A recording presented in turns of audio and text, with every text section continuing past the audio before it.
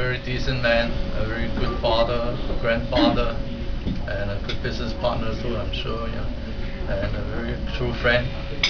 What I admire most is his courage at the end to make the decision to do what he had to do. And I mean, he loves life, and we, everybody loves life here. And for me, it may be very hard to really make the decision and to tell the family that I want to go. disconnect, yeah. And this is a real cour- courageous man. I Yeah. really admire. Yeah, really.